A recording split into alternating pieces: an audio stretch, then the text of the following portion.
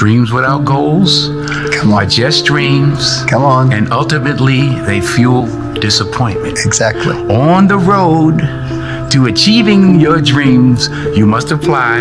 You must apply discipline, discipline but more importantly, consistency, consistency. Because without commitment, you'll never start. But without consistency, you'll, never, never finish. finish.